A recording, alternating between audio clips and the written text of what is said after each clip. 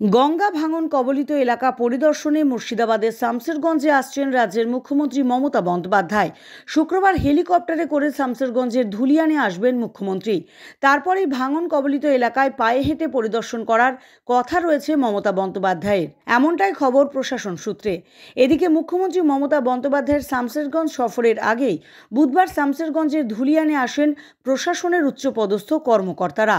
Samserganj field, Ganga, Lalpur সহ বিভিন্ন এলাকা পরিদর্শন করেন মুর্শিদাবাদ রেঞ্জের ডিআইজি রশিদ মুনির খান, জঙ্গিপুরের এসপি ভিজি সতীশ পশুমার্থী এসডিও সিনজান শেখার, এসডিপিও রাজপ্রীত সিং শামসেরগঞ্জের বিধায়ক আমিরুল ইসলাম সহ অন্যান্য প্রশাসনিক কর্মকর্তারা।